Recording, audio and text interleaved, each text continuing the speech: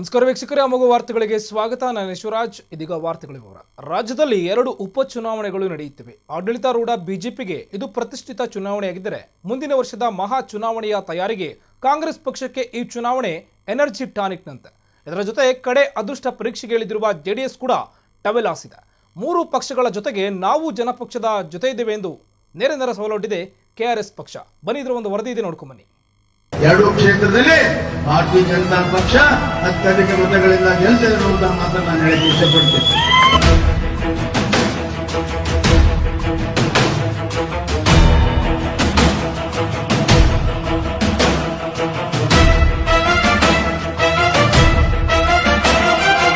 ಹೌದು. ಅಕ್ಟೋಬರ್ ಮೂವತ್ತರಂದು ಸಿಂದಗಿ ಮತ್ತು ಹಾನಗಲ್ ಉಪಚುನಾವಣೆ ನಡೆಯಲಿದ್ದು, ಬಹಿರಂಗ ಪ್ರಚಾರಕ್ಕೆ ಇಂದು ತೆರೆ ಬಿದ್ದಿದೆ. ಇನ್ನೇನಿದ್ರು ಮನೆ ಪ್ರಚಾರ ಮಾತ್ರ. ಮುಖ್ಯಮಂತ್ರಿಯಾಗಿ ಬಸವರಾಜ ಬೊಮ್ಮಾಯಿ ಅವರು ಅಧಿಕಾರ ಸ್ವೀಕರಿಸಿದ ಕೆಲವೇ ದಿನಗಳಿಗೆ ಬಂದಿರುವ ಈ ಉಪಚುನಾವಣೆ ಬಿಜೆಪಿಗೆ ಭಾರಿ ಪ್ರತಿಷ್ಠೆಯ ಕಣ. ಎರಡು ಕ್ಷೇತ್ರದಲ್ಲಿ ಭಾರತೀಯ ಜನತಾ ಪಕ್ಷ ಅತ್ಯಧಿಕ ಮತಗಳಿಂದ ಮೊನ್ನೆ ಚಕಡಿಯಲ್ಲಿ ಬಂದರು. ಚಕಡಿ ಹೊಡೆದು ಬಂದ್ರು, ಹಗ್ಗ ಸಿದ್ದರಾಮ ಕೈ ಬಾರ್ಕೋಲು ಡಿ ಕೆ ಶಿವಕುಮಾರ್. ಒಬ್ಬ ಬಾರ್ಕೋಲಿ ಹೊಡಿತಾನ, ಒಬ್ಬ ಹಾಕ್ತಾನೆ ಏನ್ ಮಾಡ್ಬೇಕು?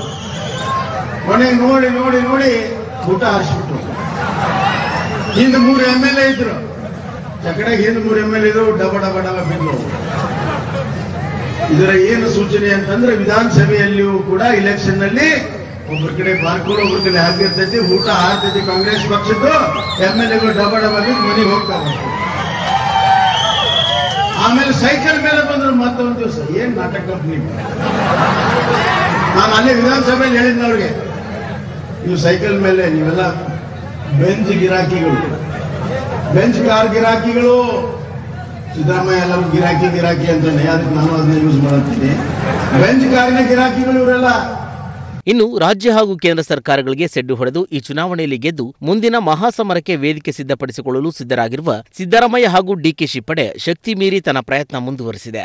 ಮಾತಿನ ಬಾಣಗಳನ್ನು ಬಿಡುತ್ತಾ ಸರ್ಕಾರದ ಅನೀತಿ ಹಾಗೂ ವೈಫಲ್ಯಗಳನ್ನು ಎತ್ತಿ ತೋರಿಸುತ್ತಾ ಜನರ ಮನ ಹಾಗೂ ಜನಮತ ಗೆಲ್ಲಲು ಸರ್ವ ತಯಾರಿ ನಡೆಸಿದೆ. ನಾನು ಡೆಪ್ಟಿ ಚೀಫ್ ಮಿನಿಸ್ಟರ್ ಆಗಿರುವಾಗ ಇವರು ಮಂತ್ರಿ ಇದ್ರು. ಸಿಂದಗಿ ಪಟ್ಟಣಕ್ಕೆ ಕುಡಿಯ ನೀರಿಲ್ಲ. ನೀವು ಅದಕ್ಕೆ ಹಣ ಒದಗಿಸ್ಕೊಡ್ಬೇಕು. ಸಿಂದಗಿ ಕುಡಿಯ ನೀರಿನ ಯೋಜನೆಗೆ ಮಂಜೂರಾತಿಯನ್ನು ಕೊಡಲೇಬೇಕು. ಅಂತೇಳಿ ನಮ್ಮ ಮನೆಯಲ್ಲಿ ಒಂದಿನ ಒಂದು ಗಂಟೆ ಕಾಲ ಕೂತ್ಬಿಟ್ರು. ನಾನು ಹೇಳಿದೆ ಮನಗೋಳಿ ಅವರೇ ನೀವು ಇಷ್ಟೆಲ್ಲ ಹಠ ಮಾಡ್ತಾ ಇದ್ದೀರಿ. ನಿಮಗೋಸ್ಕರ ಅಲ್ಲ ಸಿಂದಗಿ ಪಟ್ಟಣದ ಜನರಿಗೋಸ್ಕರವಾಗಿ ಹೋರಾಟ ಮಾಡ್ತಾ ಇದ್ದೀವಿ. ಅದಕ್ಕೋಸ್ಕರ ನಾನು ಆ ಕುಡಿಯ ನೀರಿನ ಮಂಜೂರಾತಿಯನ್ನು ಕೊಡ್ತೇನೆ. ಅದಕ್ಕೆ ಎಷ್ಟು ಹಣಕಾಸು ಆಗ್ತದೆ, ಅಷ್ಟು ಹಣಕಾಸನ್ನು ಒದಗಿಸ್ಕೊಡ್ತೇನೆ ಅಂತಕ್ಕಂಥ ಮಾತನ್ನು ಕೊಟ್ಟ ಮೇಲೆ ನಮ್ಮ ಮನೆಯಿಂದ ಹೊರಟರು. ನಾನು ಯಾಕೆ ಈ ಮಾತು ಹೇಳ್ತೀನಿ ಅಂತಂದ್ರೆ ಯಾವುದೇ ಒಂದು ಕಾರ್ಯವನ್ನು ಹಿಡಿದ್ರೆ ಆ ಕಾರ್ಯಗತ ಆಗೋರಿಗೆ ಮನಗೋಳಿಯವರು ಸುಮ್ಮನೆ ಇರ್ತಿರ್ಲಿಲ್ಲ. ಅನೇಕ ನೀರಾವರಿ ಯೋಜನೆಗಳಿಗೋಸ್ಕರ ಹೋರಾಟವನ್ನು ಮಾಡಿದ್ರು. ಕಾಂಗ್ರೆಸ್ ಪಕ್ಷದ ಅಧ್ಯಕ್ಷನಾಗಿ ಅಧಿಕಾರ ಸ್ವೀಕರಿಸಿ ಮುಖ್ಯಮಂತ್ರಿಯಾಗಿ ಬಿಡುವ ಉತ್ಸಾಹ ಹಾಗೂ ಪಕ್ಷವನ್ನ ಬಲಪಡಿಸುವ ನಿಟ್ಟಿನಲ್ಲಿ ಹಗಲು ರಾತ್ರಿ ಶ್ರಮಿಸುತ್ತಿರುವ ಡಿಕೆ ಶಿವಕುಮಾರ್ಗೂ ಸಹ ಈ ಚುನಾವಣೆಯ ಗೆಲುವು ಅತ್ಯಂತ ಮಹತ್ವದ್ದು. ಮೇಲಾಗಿ ಕೈ ವರಿಷ್ಠರಿಂದ ಕೃಪಾಶೀರ್ವಾದ ದೊರೆತು ಮುಂದಿನ ಹಂತಗಳಲ್ಲಿ ಪಕ್ಷವನ್ನು ಮತ್ತಷ್ಟು ಸದೃಢಗೊಳಿಸುವ ಎಲ್ಲ ಪ್ಲಾನ್ಗಳು ವರ್ಕ್ ಆಗಲಿದೆ. ನಮಸ್ಕಾರ. ಹಾನಗಲ್ ಹಾಗೂ ಸಿಂದಗಿ ಕ್ಷೇತ್ರದ ಮತದಾರರಿಗೆ ಶುಭಾಶಯಗಳು. ಮೂವತ್ತನೇ ತಾರೀಕು ತಾವು ಮತದಾನ ಮಾಡಲಿಕ್ಕೆ ಹೊರಟಿದ್ದೀರಿ ಇಡೀ ದೇಶದ ಜನ ನಿಮ್ಮ ತೀರ್ಪನ್ನ ನೋಡ್ತಾ ಇದ್ದಾರೆ. ನಮ್ಮ ಪ್ರಧಾನಮಂತ್ರಿಗಳು ಎರಡ್ ಸಾವಿರದ ಹದಿಮೂರರಲ್ಲಿ ಮತದಾನ ಮಾಡೋಕ್ಕಿಂತ ಮುಂಚಿತವಾಗಿ ನಿಮ್ಮ ಮನೆಯಲ್ಲಿರುವಂಥ ಗ್ಯಾಸ್ ಸಿಲಿಂಡರ್ಗೆ ಒಂದು ನಮಸ್ಕಾರ ಮಾಡಿ ಮತದಾನ ಮಾಡಿ ಅಂತ ಹೇಳಿ ನಮಗೆ ತಿಳುವಳಿಕೆಯನ್ನು ಕೊಟ್ಟರು ನಮ್ಮ ರಾಷ್ಟ್ರದ ಪ್ರಧಾನಮಂತ್ರಿಗಳು ಕೊಟ್ಟಂತ ಉಪದೇಶವನ್ನ ಪಾಲನೆ ಮಾಡಬೇಕಲ್ವೇ?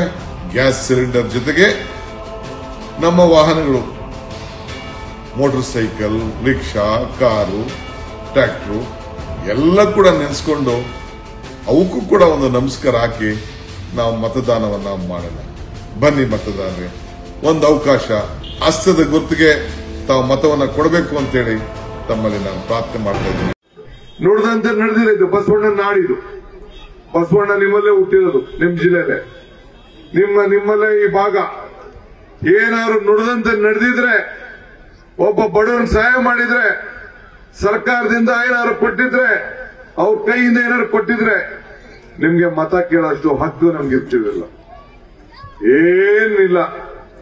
ಆದ್ರೆ ಈಗ ಕೊಡ್ಬೋದು. ಈಗ ಏನು ಕೊಡ್ಬೋದು? ಈಗ ಎಲೆಕ್ಷನ್ ಟೈಮ್ ನಾನು ನೋಡಿದೆ. ಆ ಮಸ್ಕಿ ಎಲೆಕ್ಷನ್ ಅಲ್ಲಿ. ಎಲ್ಲ ಒಂದ್ ಸಾವಿರ, ಎರಡ್ ಸಾವಿರ ದುಡ್ಡು ಹಂಚಾಯ್ತು ಈಗೂ ಕೊಡ್ಬೋದು. ನಿಮ್ ಹಸ್ತ ಇಂದಿರಾ ಗಾಂಧಿ ಹೇಳ್ತಿರ್ಲಿಲ್ಲ ತಾಯಿ ಇಂದಿರಾ ಗಾಂಧಿ? ಆ ಇಂದಿರಾ ಗಾಂಧಿ ಕೊಟ್ಟ ಹಸ್ತ ಇದು. ಆ ಹಸ್ತದಿಂದ ಇನ್ನೊಂದು ಹಸ್ತಕ್ಕೆ ಕೈ ಒತ್ತಿದ್ರೆ, ಕುಯ್ ಅಂತ ಬಟನ್ ಹತ್ತಿದ್ರೆ ಅಲ್ಲಿ ಬೊಮ್ಮಾಯಿಗೂ ಕೇಳ್ಬೇಕು, ಯಡಿಯೂರಪ್ಪಗೂ ಕೇಳ್ಬೇಕು, ಮೋದಿಗೂ ಕೇಳ್ಬೇಕು. ಹಸ್ತಕ್ಕೆ ಮತವನ್ನ ಕೊಟ್ಟು ಗೆಲ್ಲಿಸಿದ್ರೆ ಅದರ ಒಂದು ಇಲ್ಲಿಂದ, ಸಿಂದಗಿಯಿಂದ ಮೋದಿ ಅವರಿಗೆ ಒಂದು ವಾರ್ನಿಂಗ್ ಹೋಗ್ತದೆ.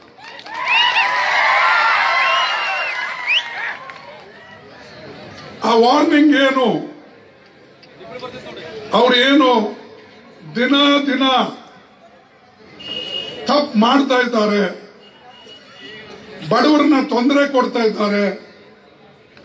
ರೈತರನ್ನ ತೊಂದರೆ ಕೊಡ್ತಾ ಇದ್ದಾರೆ. ಯುವಕರನ್ನ ಇನ್ನೂ ನಿರುದ್ಯೋಗ ಹೆಚ್ಚಿನ ರೀತಿಯಲ್ಲಿ ಮಾಡ್ತಾ ಇದ್ದಾರೆ. ಸಣ್ಣ ಪುಟ್ಟ ಉದ್ಯಮದಾರಿಗೆ ತೊಂದರೆ ಕೊಡ್ತಾ ಇದ್ದಾರೆ. ಹಿಂದೂ ಮುಸಲ್ಮಾನರಲ್ಲಿ ವಿಭಜನೆ ಮಾಡತಕ್ಕಂತ ಕಾರ್ಯಕ್ರಮ ಹಾಕೊಂಡಿದ್ದಾರೆ. ಜಾತಿ, ಉಪಜಾತಿಗಳಲ್ಲಿ ಜಗಳ ಹಚ್ಚತಕ್ಕಂತ ಅವರ ಪ್ರಯತ್ನವನ್ನ ನಡೆದಿದೆ. ಚುನಾವಣೆಗೆ ಗೆಲ್ಲಕ್ಕೆ ಏನೇನು ತಂತ್ರಗಳು ಬೇಕು ಆ ತಂತ್ರಗಳನ್ನ ಅವರು ಉಪಯೋಗ ಮಾಡ್ತಾ ಇದ್ದಾರೆ ಹೊರತಾಗಿ ದೇಶ ಅಭಿವೃದ್ಧಿ ಹೆಂಗ್ ಪಡಿಸಬೇಕು ಅನ್ನೋದು ಚಿಂತೆ ಅವರಿಗಿಲ್ಲ. ಇನ್ನು ಕಳೆದ ಬಾರಿಯ ಶಿರಾ ಹಾಗೂ ಆರ್ಆರ್ ನಗರ, ಮಸ್ಕಿ, ಬಸವ ಕಲ್ಯಾಣ ಉಪಚುನಾವಣೆಗಳ ರಣೋತ್ಸಾಹ ಈ ಉಪಚುನಾವಣೆಗಳಲ್ಲಿ ಕಂಡುಬರುತ್ತಿಲ್ಲ. ಕಾರಣ ಬೈ ಎಲೆಕ್ಷನ್ ಸ್ಪೆಷಲಿಸ್ಟ್ ವಿಜೇಂದ್ರರನ್ನ ಇಲ್ಲಿ ಕೇವಲ ನೆಪ ಮಾತ್ರಕ್ಕೆ ಬಳಸಿಕೊಂಡಂತೆ ಬಲವಾಗಿ ಕಂಡುಬರುತ್ತಿದೆ.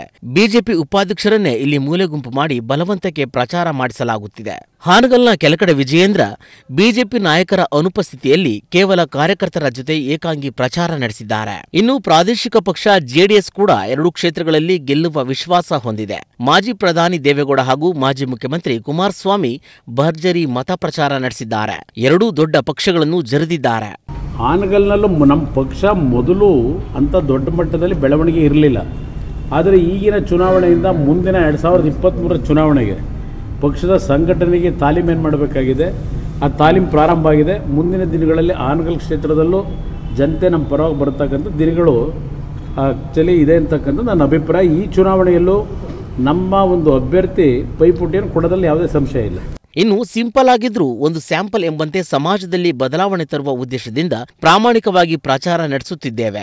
ನಿಮ್ಮ ಒಂದು ಮತ ಇಡೀ ಸಮಾಜದ ಬದಲಾವಣೆಗೆ ಎಂದು ಭರ್ಜರಿಯಾಗಿ ಮತ ಪ್ರಚಾರ ನಡೆಸಿದೆ. ಹಣ ಕೊಡ್ತಾರೋ, ಏನೋ ಕೊಡ್ತಾರೋ ಅನ್ನುವಂತ ಉದ್ದೇಶಕ್ಕೆ ಏನಾದ್ರು ನಮಗೆ ಬಂದಾರು ಮತ ಹಾಕ್ತಿದ್ರು ನಮ್ಮಿಂದ ಬರ್ತಂತ ದಯವಿಟ್ಟು ಬರಬೇಡ್ರಿ, ಕೈ ಮುಗಿತೀವಿ. ಯಾಕಂದ್ರೆ ನಾವು ಅಂತ ಅಂತ ಅಂತ ಒಂದು ಕೆಟಗರಿ ಅಲ್ಲ. ಈ ಪಕ್ಷ ಇರುವುದೇನಪ್ಪ ಪ್ರಾಮಾಣಿಕವಾಗಿ ನಿಮ್ಮ ಕಡೆಯಿಂದನೇ ನಾವು ದೇಣಿಗೆಯನ್ನು ಸಂಗ್ರಹಣ ಮಾಡ್ತೀವಿ. ಪಕ್ಷಕ್ಕೆ ಏನಪ್ಪಾ ಅಂದ್ರೆ ನೀವೇನು ಹತ್ತು ಸಾವಿರ, ಇಪ್ಪತ್ತು ಸಾವಿರ ಓಟುಗಳು ಅಂತಲ್ಲ ನಾನು ಹೇಳ್ತೀನಿ ಹತ್ತು ಸಾವಿರ ಭ್ರಷ್ಟರ ಮಧ್ಯೆ ಒಂದೇ ಓಟು ಬಿದ್ದರು ಸದ್ಯ ಕೆಆರ್ಎಸ್ ಪಕ್ಷಕ್ಕೆ ಅದೇ ಏನಪ್ಪಾ ಅಂದ್ರೆ ಈ ದೇಶದ ಆಸ್ತಿ ಪ್ರಜಾಪ್ರಭುತ್ವ ಉಳಿಯುತ್ತಿಗಾಗಿ ನೀವು ಕೊಟ್ಟಂತ ಒಂದು ಮತ ಒಂದು ಲಕ್ಷ ಮತಕ್ಕಿಂತಲೂ ಜಾಸ್ತಿ ಇಂದು ಸುನಿಲ್ ಕುಮಾರ್ ಹೆಟ್ಟಿ ಅವ್ರು ಏನಪ್ಪಾ ಅಂದ್ರೆ ಅವ್ರು ಎಷ್ಟು ಓಟ್ ತಗೋತಾರೆ ಅಂತ ನನಗೆ ಗೊತ್ತಿಲ್ಲ ಅವ್ರು ಏನಪ್ಪಾ ಐನೂರು ಓಟ್ ತಗೋದು ಅದು ಐವತ್ತು ಸಾವಿರ ಲೀಡ್ ಇದ್ದಂಗೆ ಯಾಕಂದ್ರೆ ನಾವು ಪ್ರಾಮಾಣಿಕವಾಗಿ ಓಟನ್ನು ತೆಗೆದುಕೊಂಡಿದ್ದೀವಿ ಯಾವ ಭ್ರಷ್ಟ ವ್ಯಕ್ತಿಗಳಿಂದ ಕಡಿದ ಸರಕ್ಕೆ ನಾವು ಆದ್ರೆ ಹಣ ಹೆಣ್ಣವರು ಹಂಚಿ ತಗೊಂಡಿಲ್ಲ ನಾ ಹೇಳ್ತೆ ಅದಕ್ಕೆ ಹೇಳ್ತಿರ್ತೆ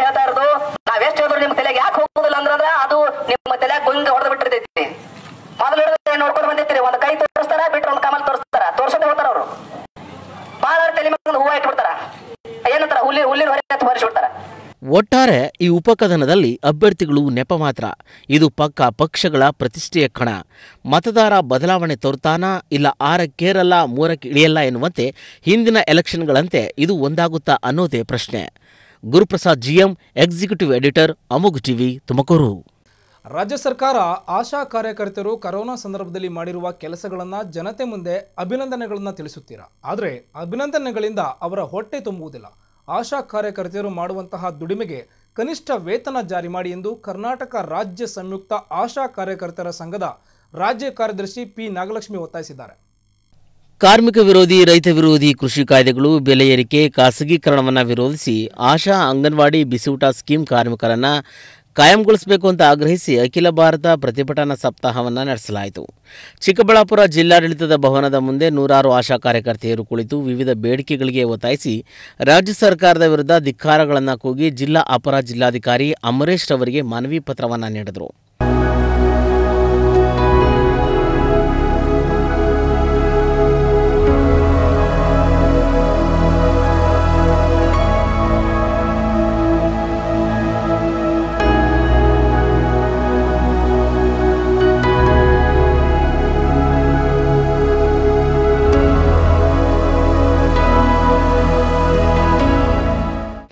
ಪ್ರತಿಭಟನೆಯನ್ನು ಉದ್ದೇಶಿಸಿ ಮಾತನಾಡಿದ ಕರ್ನಾಟಕ ರಾಜ್ಯ ಸಂಯುಕ್ತ ಆಶಾ ಕಾರ್ಯಕರ್ತೆಯರ ಸಂಘ ರಾಜ್ಯ ಕಾರ್ಯದರ್ಶಿ ಪಿ ನಾಗಲಕ್ಷ್ಮಿ. ಆಶಾ ಕಾರ್ಯಕರ್ತೆಯರು ಕಳೆದ ಒಂದೂವರೆ ವರ್ಷದಿಂದ ಕೊರೋನಾ ಸಾಂಕ್ರಾಮಿಕ ರೋಗವನ್ನು ತಡೆಗಟ್ಟುವಲ್ಲಿ, ಜನರಿಗೆ ಲಸಿಕೆ ಹಾಕಿಸುವಲ್ಲಿ ಕೊರೋನಾ ವಾರಿಯರ್ಸ್ ಆಗಿ ಪ್ರಮುಖ ಪಾತ್ರ ವಹಿಸುತ್ತಾ ಬಂದಿದ್ದಾರೆ. ಕೊರೋನಾ ಸಂದರ್ಭದಲ್ಲಿ ದಿನವಿಡೀ ಕೆಲಸಗಳನ್ನು ಮಾಡಿಸಿಕೊಂಡು ಉತ್ತರ ಸರ್ಕಾರದಿಂದ ಮೊಬೈಲ್ ಟ್ಯಾಬ್ ಹಾಗೂ ಡೇಟಾ ನೀಡುವುದಾಗಿ ಹೇಳಿ ಈಗ ಅದನ್ನು ಯಾವುದನ್ನು ಕೊಡದೆ ಸುಮ್ಮನಿದ್ದಾರೆ. ದಿನಕ್ಕೆ ಮೂರು ಗಂಟೆಗಳ ಕಾಲ ಕೆಲಸ ಮಾಡಿದರಷ್ಟೇ ಸಾಕು ಎಂದು ಹೇಳಿದವರು ಈಗ ದಿನವಿಡೀ ಕೆಲಸ ಮಾಡಿಸಿಕೊಳ್ಳುತ್ತಿದ್ದಾರೆ ಎಂದರು. ಹಾಗಾಗಿ ಆಶಾ ಕಾರ್ಯಕರ್ತೆಯರ ಜಿಲ್ಲೆಯಲ್ಲಿರುವಂಥ ಜ್ವಲಂತ ಸಮಸ್ಯೆಗಳ ಬಗ್ಗೆ ಇವತ್ತು ನಾವು ಈ ಪ್ರತಿಭಟನೆ ಹಮ್ಮಿಕೊಂಡಿದ್ವಿ. ಒಂದು ಇವ್ರದ್ದು ಅಲ್ಲದೆ ಇರುವಂಥ ಹಲವಾರು ಕೆಲಸಗಳನ್ನ ಆಶಾಗಳಿಂದ ಮಾಡಿಸ್ತಾ ಇರುವಂಥದ್ರ ಬಗ್ಗೆ ಅದೇ ರೀತಿ ಇವರ ಒಂದು ಕನಿಷ್ಠ ವೇತನದಲ್ಲಿ ಏನು ಕೆಲಸ ಮಾಡ್ತಿದ್ದಾರೆ, ದಿನಕ್ಕೆ ಎರಡು ಮೂರು ತಾಸು ಕೆಲಸ ಅಂತ ಹೇಳಿದ್ದಾರೆ ಇತ್ತೀಚೆಗೆ ಮಾನ್ಯ ಆರೋಗ್ಯ ಸಚಿವರು ಕೂಡ ವಿಧಾನಮಂಡಲದಲ್ಲಿ ಆಶಾ ಕಾರ್ಯಕರ್ತೆಯರಿಗೆ ವೇತನ ಎಷ್ಟು, ಇವ್ರ ಕೆಲಸದ ಒಂದು ವ್ಯಾಪ್ತಿ ಏನು ಅಂತಂದ ಕೇಳಿದರೆ ಎರಡು ಪುಟಗಳ ಒಂದು ವಿವರಣೆ ಕೊಟ್ಟಿದ್ದಾರೆ.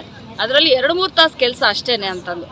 ಬರೋ ದುಡ್ಡು ಎಷ್ಟು ಅಂತಂದರೆ ಒಂದು ಆರರಿಂದ ಏಳು ಸಾವಿರ ಅಂತಲೂ ಹೇಳಿದ್ದಾರೆ ಆದರೆ ಇದು ಏನು ಇಷ್ಟು ವೇತನದಲ್ಲಿ ಇವತ್ತು ಜೀವನ ನಡ್ಸೋಕ್ಕಾಗುತ್ತಾ ಹೇಳಿ. ಅದ್ರ ಜೊತೆಗೇನೆ ಇವತ್ತು ಇವ್ರು ಮಾಡುವಂಥ ಎರಡು ಮೂರು ಸಾವಿರ ಕೆಲಸದ ಒಂದು ಕೆಲಸ ಮಾಡ್ತಾರೆ. ಅದು ಒಂದು ಪೋರ್ಟಲಲ್ಲಿ ಫೀಡ್ ಮಾಡಬೇಕು.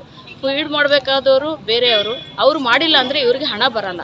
ಇದು ಕ, ಸುಮಾರು ಈಗಾಗಲೇ ಈಗ ತಾನೇ ಮೊನ್ನೆ ಅಧಿಕಾರಿಗಳು ಯಾರು ಬಂದೋದ್ರು ಹೇಳ್ತಿದ್ರು ಎಪ್ಪತ್ತು ಜನ ವೇಕೆಂಟ್ ಇದೆ.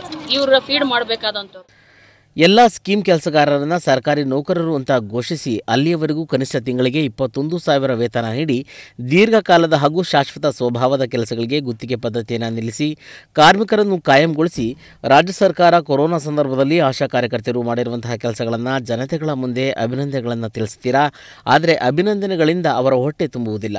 ಆಶಾ ಕಾರ್ಯಕರ್ತೆಯರು ಮಾಡುವಂತಹ ದುಡಿಮೆಗೆ ಕನಿಷ್ಠ ವೇತನ ಜಾರಿ ಮಾಡಿ ಎಂದು ಒತ್ತಾಯಿಸಿದರು.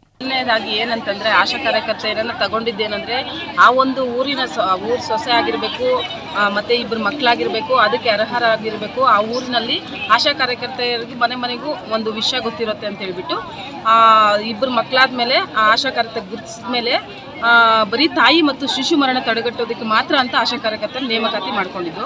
ಆಮೇಲೆ ಏನು ಹೇಳಿದ್ರು ಗೊತ್ತಾ? ಮುಂದೆ ಮುಂದೆ ಈಗ ನಾವು ಫಸ್ಟು ಆಶಾ ಕಾರ್ಯಕರ್ತೆ ಆಗಬೇಕಾದ್ರೆ ಒಂದು ಕೇಸಿಗೆ, ಒಂದು ಡಿಲಿವರಿ ಕೇಸ್ ಕರ್ಕೊಂಡು ಹೋಗ್ಬೇಕಾದ್ರೆ ಇನ್ನೂರು ರೂಪಾಯಿ ಕೊಡೋದು ಅಂತ ಹೇಳ್ಬಿಟ್ಟು ಆ ಥರ ಮಾಡಿದ್ರು. ಇತ್ತೀಚೆಗೆ ಏನು ಮಾಡಿದ್ರು? ಒಂದು ಒಂದು ಮೂರು ವರ್ಷ ನಾಲ್ಕು ವರ್ಷದಿಂದ ಫಿಕ್ಸ್ಡ್ ಪೇಮೆಂಟು ಅಂತ ಹೇಳ್ಬಿಟ್ಟು ಆರ್ ಎಚ್ ಪೋರ್ಟಲಲ್ಲಿ ನಾಲ್ಕು ಸಾವಿರ ಅಷ್ಟೇ ನಮಗೆ ಕರೆಕ್ಟಾಗಿ ತಿಂಗಳು ನಮಗೆ ಯಾವ ಅಮೌಂಟ್ ಬರ್ತಾ ಇದೆ ಯಾವ- ಅಮೌಂಟ್ ಬರ್ತಾ ಇದೆ ಏನು ಅಂತೇಳಿ ನಮ್ಗೆ ಸರಿಯಾಗಿ ಗೊತ್ತಾಗ್ತಾ ಇಲ್ಲ.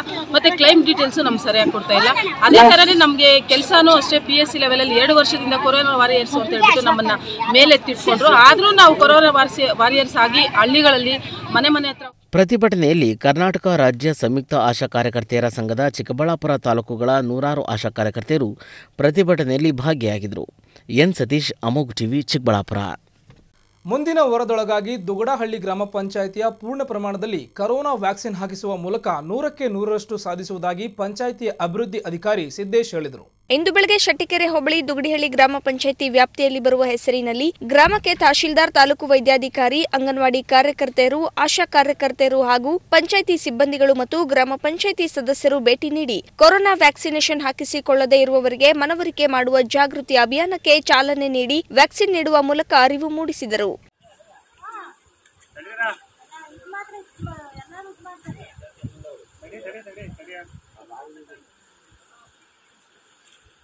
Yeah.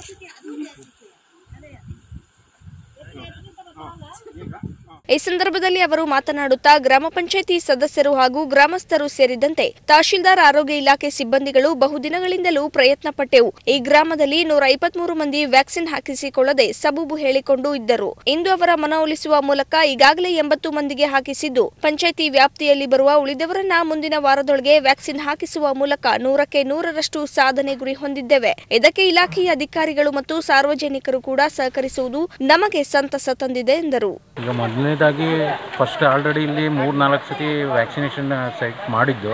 ಆದರೂ ಸಹ ಜನಗಳು ಬರೋದಕ್ಕೆ ನಿರ್ಲಕ್ಷ್ಯ ತೋರಿಸಿದ್ರು. ನಮ್ಮ ಆಶಾ ಕಾರ್ಯಕರ್ತರು, ಅಂಗನವಾಡಿ ಕಾರ್ಯಕರ್ತರು ಹಾಗೂ ಪಂಚಾಯತ್ಗೆ ಸಿಬ್ಬಂದಿಗಳು ಎಲ್ಲರನ್ನೂ ಮನವೊಲಿಸೋ ಪ್ರಯತ್ನ ಮಾಡಿದ್ದು ಸಹ ಬಂದಿರಲಿಲ್ಲ. ನಾವು ನೂರಿಪ್ಪತ್ತು ಜನ ಯಾರು ಬಂದಿರಲಿಲ್ಲ.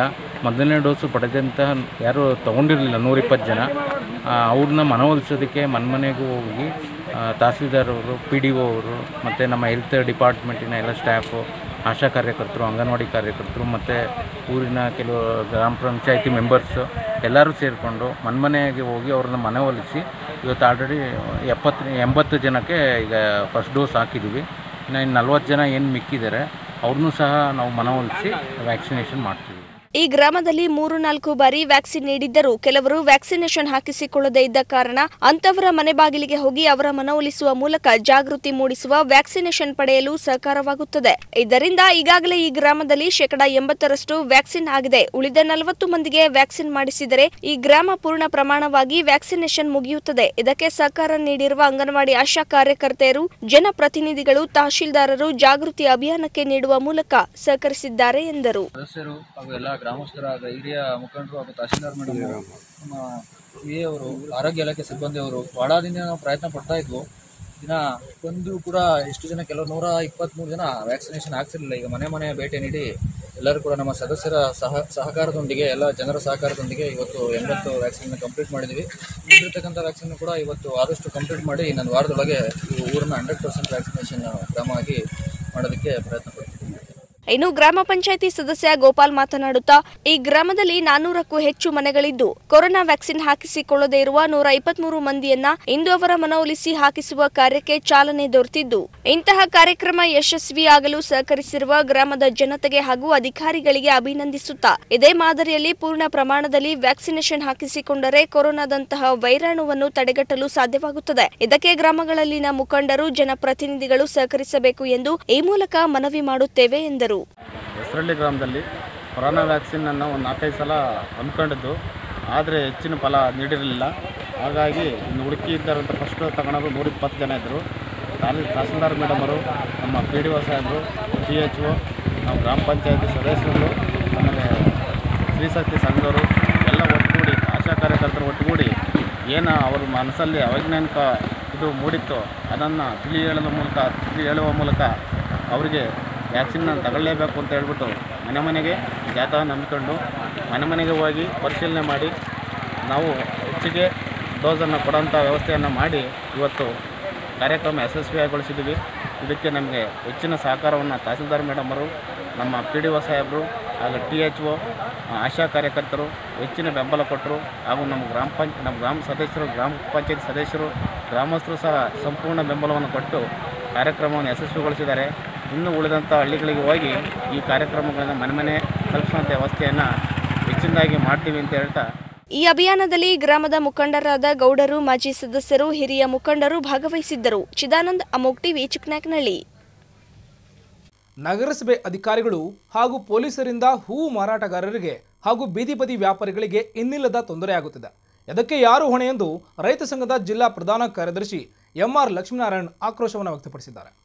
ನಗರಸಭೆ ಕಚೇರಿ ಆವರಣದಲ್ಲಿ ಕರ್ನಾಟಕ ರಾಜ್ಯ ರೈತ ಸಂಘ ಮತ್ತು ಹಸಿರು ಸೇನೆ ವತಿಯಿಂದ ನಗರಸಭೆ ಅಧಿಕಾರಿಗಳು ಮತ್ತು ಪೊಲೀಸ್ ಅಧಿಕಾರಿಗಳ ಧೋರಣೆ ಖಂಡಿಸಿ ಬೃಹತ್ ಪ್ರತಿಭಟನೆ ನಡೆಯಿತು. ಇನ್ನು ಈ ಕಾರ್ಯಕ್ರಮದಲ್ಲಿ ರೈತ ಸಂಘದ ಜಿಲ್ಲಾ ಪ್ರಧಾನ ಕಾರ್ಯದರ್ಶಿ ಎಂಆರ್ ಲಕ್ಷ್ಮೀನಾರಾಯಣ ಭಾಗವಹಿಸಿ ಮಾತನಾಡಿ. ನಗರಸಭೆಯಿಂದ ನಿರ್ಮಾಣವಾಗಿರುವ ಹೂವಿನ ಮಾರ್ಕೆಟ್ ಪ್ರಾಂಗಣದಲ್ಲಿ ಹಲವಾರು ಜ್ವಲಂತ ಸಮಸ್ಯೆಗಳು ಕಾಡುತ್ತಿವೆ. ಇಲ್ಲಿ ಮೂಲಭೂತ ಸೌಕರ್ಯಗಳ ಕೊರತೆ, ಮಳೆ ಬಂದರೆ ಮೇಲ್ಚಾವಣೆ ಸೋರುವುದು ಶೌಚಾಲಯವಿಲ್ಲ ಕುಡಿಯುವ ನೀರಿನ ಕೊರತೆ ಹೀಗೆ ಹಲವಾರು ಸಮಸ್ಯೆಗಳ ಕುಪವಾಗಿದೆ ಎಂದರು.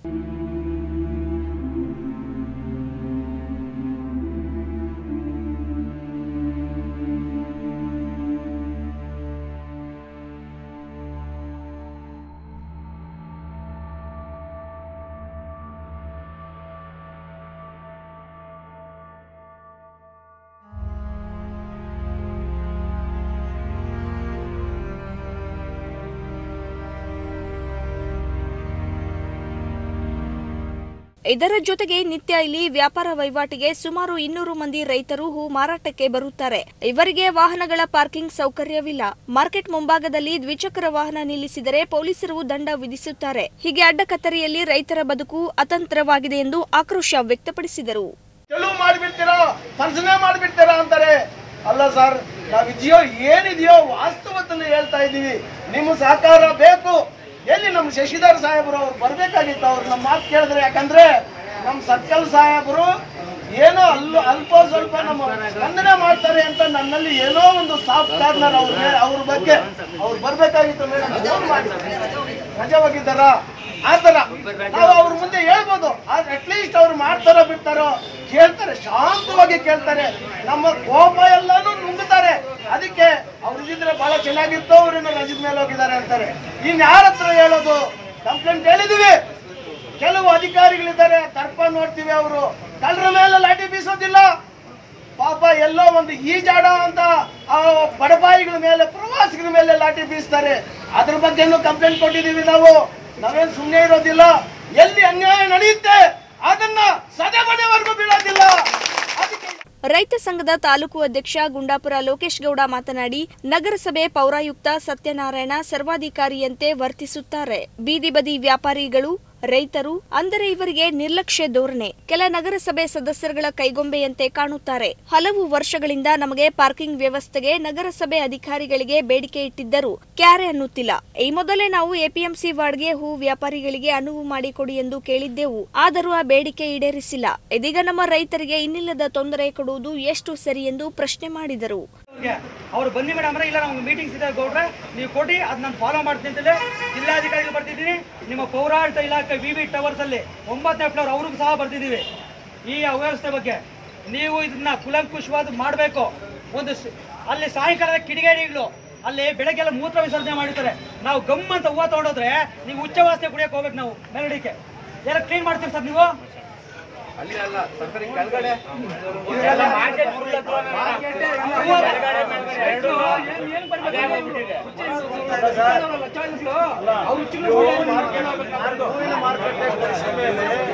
ರೈತರಿಗೆ ಒಂದಕ್ಕೆ ಎರಡಕ್ಕೆ ಹೋಗೋಕೆ ಮೂರು ಸೌಲಭ್ಯ ಒದಗಿಸೋದು ನಮ್ಮ ನಗರ ಪಂಚಾಯತಿ. ನಮ್ಮ ನಗರ ಪಂಚಾಯತಿ ತನ್ನ ಬಿಲ್ಡಿಂಗ್ ನಲ್ಲೇ ಮೂಲ ಸೌಲಭ್ಯ ಇಲ್ಲ ಅಂದ್ರೆ ಇದು ಮಾರುಕಟ್ಟೆ ಯಾಕೆ?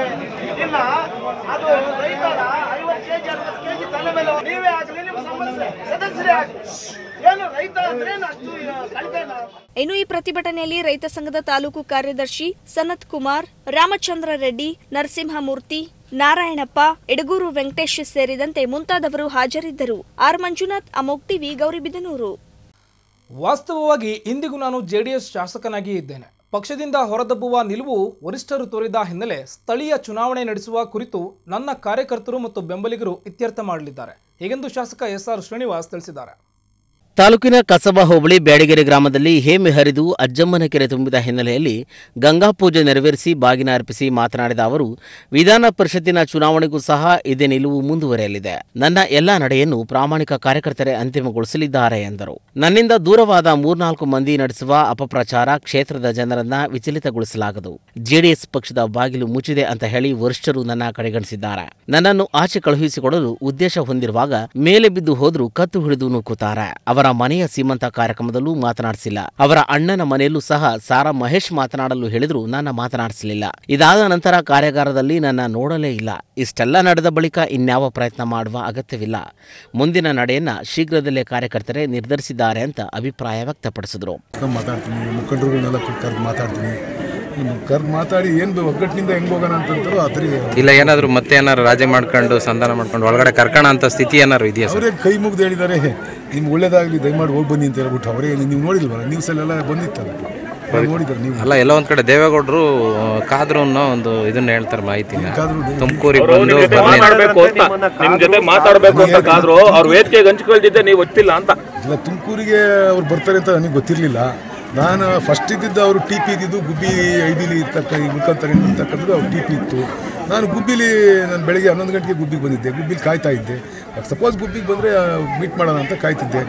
ಆಫೀಸಲ್ಲಿ ಜನ ಜಾಸ್ತಿ ಆದರೂ ಹೋಗ್ಲಿಕ್ಕಾಗಲ್ಲ ಮೂರುವರೆ ತನಕ ನಾನು ಫ್ರೀ ಆಗ್ಲಿಕ್ಕೆ ಆಗಲಿಲ್ಲ. ಅದರಿಂದ ತುಮಕೂರು ಹೋಗಕ್ಕೆ ಆಗಲಿಲ್ಲ ಮೀಟ್ ಮಾಡೋಕ್ಕೆ ಏನಾದ್ರು ಮಾತುಕತೆ ಆಡಿ ತೀರ್ಮಾನ ಮಾಡ್ಕೊಂಡ್ರೆ ಹೋಗೋಂಥ ಸ್ಥಿತಿ ಏನಾರ ನಿಮ್ಮಲ್ಲಿ ಇದೆಯಾ ಸರ್? ಕರ್ಕಣಸ್ತು ಮನಸ್ಥಿತಿ ಅವರೆಲ್ಲ ಐತೆ ತಿಳ್ಕೊಳ್ಳಿ ಫಸ್ಟ್ ಅಲ್ಲ ನೀವು ಹೋಗ್ತೀರಾ ಅಂತ. ಫಸ್ಟ್ ಅವ್ರ ತಾವು ಐದೇ ಇದೆಯಾದ್ರು ಅಂತ ತಿಳ್ಕೊಳ್ಳಿ. ನನಗೆ ಅವರು ಉತ್ತಮ ಮಳೆ ಬಂದ ಹಿನ್ನೆಲೆ ಎಲ್ಲ ಕೆರೆಕಟ್ಟೆಗಳು ತುಂಬಿದೆ. ಹಾಗಲವಾಡಿ ಭಾಗದಲ್ಲಿ ಮಳೆ ಬಂದರೂ ಅಂತರ್ಜಲ ವೃದ್ಧಿಗೆ ಅವಶ್ಯಕ ಇಪ್ಪತ್ತೆರಡು ಚೆಕ್ ಡ್ಯಾಂ ನಿರ್ಮಿಸಿದ್ದರ ಫಲ ಇಂದು ಕೊಳವೆ ಬಾವಿ ರೀಚಾರ್ಜ್ ಆಗುತ್ತಿದೆ. ಈ ಜೊತೆಗೆ ಮೂವತ್ತು ವರ್ಷದ ನಂತರ ತುಂಬಿದ ಅಜ್ಜಮ್ಮನ ಕೆರೆ ಹದಿನೈದು ಗ್ರಾಮದ ರೈತರ ಕೃಷಿಗೆ ಅನುಕೂಲವಾಗಿದೆ. ಈ ಕೆರೆಗೆ ಹೇಮೆ ಹರಿಸಲು ರೈತರಿಂದಲೇ ಹಣ ಸಂಗ್ರಹಿಸಿ ನಿರ್ಮಾಣವಾದ ನಾಲೆಗೆ ನಾನು ವೈಯಕ್ತಿಕ ಹಣ ನೀಡಿದ್ದೆ ಎಂದ ಕುಮಾರಸ್ವಾಮಿ ತಮ್ಮ ಕರ್ಚಿಫ್ನಲ್ಲಿ ಗ್ಲಿಸರಿನ್ ಇದೆಯೇ ಅಂತ ತೋರಿಸಿದರ ಬಗ್ಗೆ ಪ್ರತಿಕ್ರಿಯಿಸಿ ಮತ್ತೊಂದು ಕರ್ಚಿಫ್ ಅವರ ಬಳಿ ಇರುತ್ತೆ ಬಿಡಿ ಅಂತ ವ್ಯಂಗ್ಯವಾಡಿದರು. ಈ ಸಂದರ್ಭದಲ್ಲಿ ಎಪಿಎಂಸಿ ಸದಸ್ಯ ಕಳ್ಳಿಪಾಳ ಲೋಕೇಶ್, ಜಿಲ್ಲಾ ಪಂಚಾಯತಿ ಮಾಜಿ ಉಪಾಧ್ಯಕ್ಷ ಕೆಸಿ ಕೃಷ್ಣಮೂರ್ತಿ, ಗ್ರಾಮ ಪಂಚಾಯತಿ ಅಧ್ಯಕ್ಷ ಸೋಮಶೇಖರ್, ಸದಸ್ಯರಾದ ಜೆಎಂ ನರಸಿಂಹಮೂರ್ತಿ, ರಮೇಶ್ ಮಂಜುನಾಥ್, ಮುಖಂಡರಾದ ಕೆಆರ್ ವೆಂಕಟೇಶ್, ರಾಜಣ್ಣ, ಸೀನಪ್ಪ ಇತರರು ಪಾಲ್ಗೊಂಡಿದ್ದರು. ಕನ್ನಡ ರಾಜ್ಯೋತ್ಸವದ ಸಲುವಾಗಿ ಇಂದು ಸರ್ಕಾರದ ಆದೇಶದಂತೆ ಗುಡಿಬಂಡೆಯ ಸುರಸದ್ಮಗಿರಿ ಬೆಟ್ಟದ ತಪ್ಪಲಿನಲ್ಲಿ ಇಂದು ತಾಲೂಕು ಆಡಳಿತದ ವತಿಯಿಂದ ಸಾಮೂಹಿಕ ಕನ್ನಡ ಗೀತಾ ಗಾಯನವನ್ನು ನಡೆಸಲಾಯಿತು. ತಾಲೂಕು ಆಡಳಿತ, ತಾಲೂಕು ಪಂಚಾಯಿತಿ, ಪಟ್ಟಣ ಪಂಚಾಯಿತಿ ಹಾಗೂ ಸಾರ್ವಜನಿಕ ಶಿಕ್ಷಣ ಇಲಾಖೆಯ ಸಹಯೋಗದೊಂದಿಗೆ ಈ ಕಾರ್ಯಕ್ರಮ ಏರ್ಪಡಿಸಲಾಗಿತ್ತು. ಬಾರಿಸು ಕನ್ನಡ ಡಿಂಡಿಮವ ಜೋಗದ ಸಿರಿ ಬೆಳಕಿನಲ್ಲಿ ಹಾಗೂ ಹುಟ್ಟಿದರೆ ಕನ್ನಡ ನಾಡಲ್ಲಿ ಹುಟ್ಟಬೇಕು, ತಾಲೂಕು ಮಟ್ಟದ ಅಧಿಕಾರಿಗಳು, ಕನ್ನಡ ಸಂಘಟನೆಗಳು, ಶಾಲಾ ಕಾಲೇಜು ವಿದ್ಯಾರ್ಥಿಗಳು ಈ ಗೀತೆಗಳನ್ನು ಹಾಡುವಲ್ಲಿ ಕೈ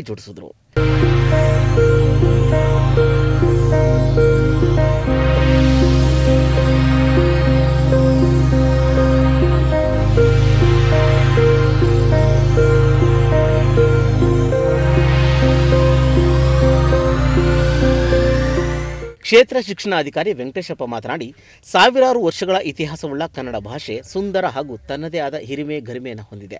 ಅಸಾಮಾನ್ಯ ಕವಿಗಳು, ಸಾಹಿತಿಗಳು ಕನ್ನಡಕ್ಕೆ ಮತ್ತಷ್ಟು ಮೆರುಗು ನೀಡಿದ್ದಾರೆ. ಕನ್ನಡ ರಾಜ್ಯೋತ್ಸವದ ಈ ಸಮಯದಲ್ಲಿ ಈ ಕನ್ನಡ ಗೀತ ಗಾಯನ ಕಾರ್ಯಕ್ರಮ ವಿಶಿಷ್ಟ ಹಾಗೂ ವಿನೂತನವಾಗಿದೆ ಅಂತ ಹೇಳಿದರು. ಸಾಂಸ್ಕೃತಿಕ ಐತಿಹ್ಯವನ್ನ ಪ್ರತಿಬಿಂಬಿಸ್ತಕ್ಕಂತಹ ಒಂದು ಸ್ವರ ಸಂಯೋಜನಾ ಗೀತೆಗಳನ್ನ ಇವತ್ತು ನಾವು ಆಡ್ತಕ್ಕಂತಹ ಒಂದು ಕಾರ್ಯಕ್ರಮವನ್ನು ಇವತ್ತು ಇಪ್ಪತ್ತೆಂಟನೇ ತಾರೀಕು ನಾವು ಪ್ರಾರಂಭ ಮಾಡಿದ್ದೀವಿ ಇದಕ್ಕೆ ನಮ್ಮ ತಾಲೂಕು ಆಡಳಿತ ಎಲ್ಲ ಇಲಾಖೆಗಳ ಒಂದು ಸಹಕಾರದೊಂದಿಗೆ ಇವತ್ತು ಈ ಕಾರ್ಯಕ್ರಮವನ್ನು ಇಲ್ಲಿ ಆಯೋಜನೆ ಮಾಡಿದ್ದೀವಿ. ಈಗ ಪ್ರಾಸ್ತಾವಿಕವಾಗಿ ಒಂದು ಎರಡು ವಿಷಯಗಳನ್ನು ತಮ್ಮ ಜೊತೆ ಹಂಚ್ಕೊಳ್ಳಿಕ್ಕೆ ಇಷ್ಟಪಡ್ತಾ ಇದ್ದೀನಿ. ಮೊದಲನೇದಾಗಿ ನಮ್ಮ ಕರ್ನಾಟಕ ನವೆಂಬರ್ ಒಂದರಂದು ಕನ್ನಡ ರಾಜ್ಯೋತ್ಸವನ್ನ ಇಡೀ ರಾಜ್ಯಾದ್ಯಂತ ವಿಜೃಂಭಣೆಯಿಂದ ನಾವು ಆಚರಣೆ ಮಾಡ್ತಾ ಇದ್ದೀವಿ. ಈ ಒಂದು ಕರ್ನಾಟಕ ರಾಜ್ಯಕ್ಕೆ ವಿಶೇಷವಾಗಿರ್ತಕ್ಕಂತಹ ಎರಡು ಸಾವಿರ ವರ್ಷಗಳ ಇತಿಹಾಸ ಇದೆ. ಈ ಇತಿಹಾಸದ ಹಿನ್ನೆಲೆಯಲ್ಲಿ ನಾವು ಅನೇಕ ಈ ಸಮಯದಲ್ಲಿ ತಹಶೀಲ್ದಾರ್ ಸಿಗ್ಬತ್ ಉಲ್ಲಾ, ತಾಲೂಕು ಪಂಚಾಯತಿ ಕಾರ್ಯನಿರ್ವಹಣಾಧಿಕಾರಿ ರವೀಂದ್ರ, ತಾಲೂಕು ವೈದ್ಯಾಧಿಕಾರಿ ಡಾಕ್ಟರ್ ನರಸಿಂಹಮೂರ್ತಿ ಪಟ್ಟಣ ಪಂಚಾಯತಿ ಮುಖ್ಯಾಧಿಕಾರಿ ರಾಜಶೇಖರ್, ಸರ್ಕಾರಿ ಐಟಿಐನ ಸನಾ ನಾಗೇಂದ್ರ, ಅನುರಾಧ ಆನಂದ್, ಶಿಕ್ಷಣ ಇಲಾಖೆಯ Chandrashekar, K V Narayanaswamy, police ಉಪನಿರೀಕ್ಷಕ Pratap, ಶಾಲಾ ಕಾಲೇಜುಗಳ ಮುಖ್ಯಸ್ಥರು, ಸಿಬ್ಬಂದಿಗಳು, ಶಿಕ್ಷಕರು ಹಾಜರಿದ್ದರು. ವಿ. ರಾಜಶೇಖರ್, ಅಮುಗು ಟಿವಿ, ಗುಡಿಬಂಡೆ. ಕೊಡಗೇನಹಳ್ಳಿ ಗ್ರಾಮ ಪಂಚಾಯಿತಿಯಲ್ಲಿ ಅಕ್ರಮ ಮತ್ತು ಅವ್ಯವಹಾರಗಳ ವಿರುದ್ಧ ಕಾನೂನು ಕ್ರಮ ಕೈಗೊಳ್ಳಲು ಎರಡ್ ಸಾವಿರದ ಹದಿನಾಲ್ಕು ಹದಿನೈದರಿಂದ ಇದುವರೆಗೂ ದೂರು ಸಲ್ಲಿಸಿದ್ದು ಯಾವುದೇ ಕ್ರಮ ಕೈಗೊಂಡಿಲ್ಲ. ಹೇಗೆಂದು ಆರೋಪಿಸಿ ಮಾಹಿತಿ ಹಕ್ಕು ಮತ್ತು ಸಾಮಾಜಿಕ ಕಾರ್ಯಕರ್ತ ವೇದಿಕೆಯ ಪದಾಧಿಕಾರಿಗಳು ಪ್ರತಿಭಟನೆಯನ್ನು ನಡೆಸಿದ್ದಾರೆ. ಪಟ್ಟಣ ತಾಲೂಕು ಪಂಚಾಯತಿ ಎದುರು ರಾಜ್ಯದ ಮೂಲೆ ಮೂಲೆಗಳಿಂದ ಮಾಹಿತಿ ಹಕ್ಕು ಮತ್ತು ಸಾಮಾಜಿಕ ಕಾರ್ಯಕರ್ತರು ಜಮಾಯಿಸಿದ್ದು ಕೊಡಗೇನಹಳ್ಳಿ ಗ್ರಾಮ ಪಂಚಾಯತ್ನಲ್ಲಿ ಅಕ್ರಮವೆಸಗಿರುವ ಸಿಬ್ಬಂದಿ ಮತ್ತು ಜನಪ್ರತಿನಿಧಿಗಳ ಮೇಲೆ ಶಿಸ್ತು ಕ್ರಮ ಕೈಗೊಳ್ಳಬೇಕು ಅಂತ ಒತ್ತಾಯಿಸಿದರು. ನಮ್ಮ ರಾಜ್ಯ ಮಾಹಿತಿ ಆಯೋಗ ಸಾಮಾಜಿಕ ಕಾರ್ಯಕರ್ತರು ಒಂದು ತಾಲೂಕು ಪಂಚಾಯತಿ ಕಾರ್ಯನಿರ್ವಾಹಕ ಅಧಿಕಾರಿಗಳಿಗೆ ಒಂದು ಅರ್ಜಿಯನ್ನು ಕೊಟ್ಟಿದ್ದೀರಾ? ಆ ಅರ್ಜಿಯಲ್ಲಿ ಕೊಡಗೇನಹಳ್ಳಿ ಗ್ರಾಮ ಪಂಚಾಯತಿಯಲ್ಲಿ ಸುಮಾರು ವರ್ಷಗಳಿಂದ ಒಂದು ಸರಿಯಾದಂಥ ಒಂದು ಸಾರ್ವಜನಿಕರಿಗೆ ಒಂದು ಅನುಕೂಲ ಆಗ್ತಾ ಇಲ್ಲ.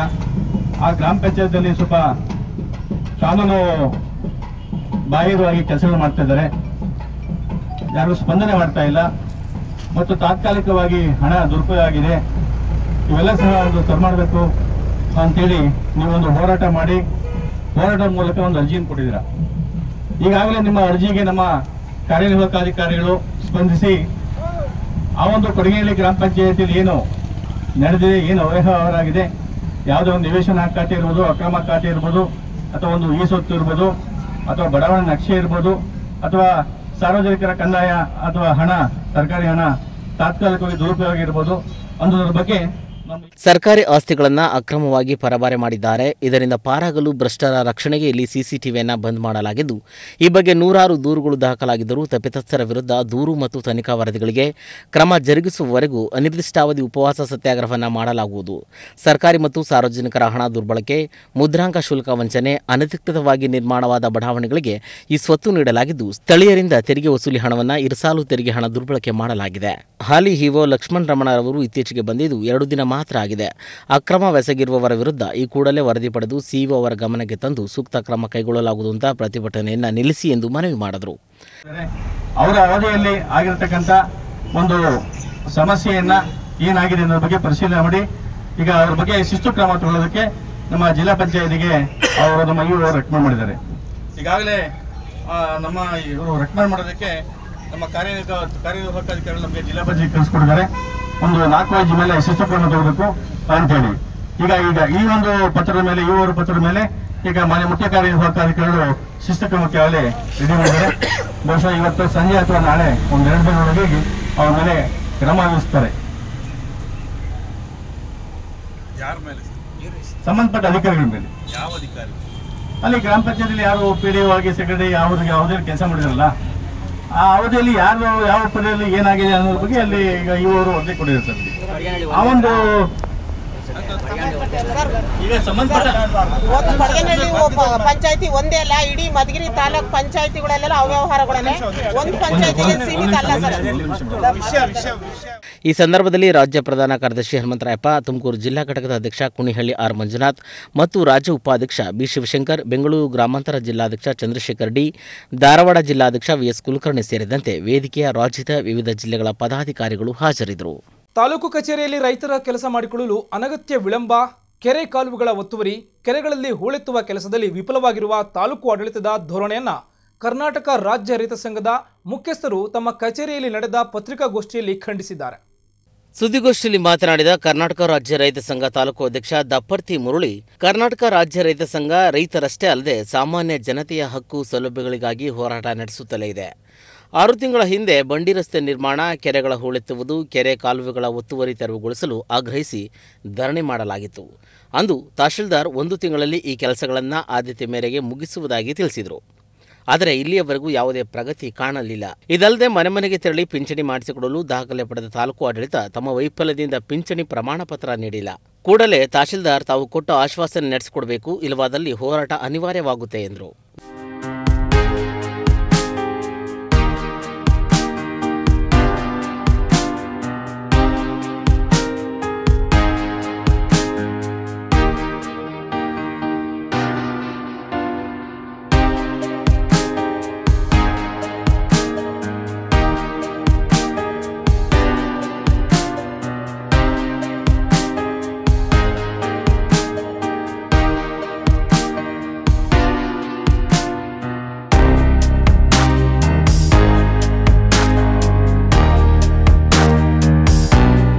ನಂತರ ಮಾತನಾಡಿದ ಕರ್ನಾಟಕ ರಾಜ್ಯ ರೈತ ಸಂಘ ಹಸಿರು ಸೇನೆಯ ಜಿಲ್ಲಾಧ್ಯಕ್ಷ ಎಚ್ ಪಿ ರಾಮನಾಥ ರೆಡ್ಡಿ ಇಂದು ಒಂದು ಎಕರೆ ಟೊಮೊಟೊ ಬೆಳೆಯಲು ಸುಮಾರು ಎರಡು ಲಕ್ಷಗಳ ಅವಶ್ಯಕತೆ ಇದೆ.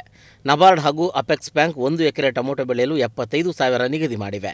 ಇದು ಅವೈಜ್ಞಾನಿಕ ತೀರ್ಮಾನ. ಇಂದಿನ ಬೆಲೆಗೆ ಕನಿಷ್ಠ ಒಂದೂವರೆ ಲಕ್ಷ ನೀಡಬೇಕು. ಇಂತಹ ಸ್ಥಿತಿಯಲ್ಲಿ ನಿನ್ನೆ ನಡೆದ ಡಿಸಿಸಿ ಬ್ಯಾಂಕ್ ನಿರ್ದೇಶಕರು ಹಾಗೂ ಶಾಸಕರು ಈ ಕುರಿತಾಗಿ ಚಕಾರವೆತ್ತಲಿಲ್ಲ ಕೇವಲ ಶೋಕಿ ಹಾಗೂ ಪ್ರಚಾರಕ್ಕಾಗಿ ಚೆಕ್ ವಿತರಣೆ, ಬಾಗಿನ ಸಮರ್ಪಣೆಯಂತಹ ಕಾರ್ಯಕ್ರಮಗಳಿಗೆ ಬರುವುದೇ ಸಾಧನೆಯಾಗಿದೆ ಅಂತ ಹೇಳಿದರು ಇರ್ತಕ್ಕಂಥದ್ದು ಸಂಪೂರ್ಣ ಉಳ್ಳೋಡ್ ಪಂಚಾಯತಿ ಪೊಲೀಸ್ ಸ್ಟೇಷನ್ ಹಿಂದ್ಗಡೆ ಇರ್ತಕ್ಕಂಥ ಲೇಔಟು ಉಳ್ಳೋಡ್ ಪಂಚಾಯತಿ.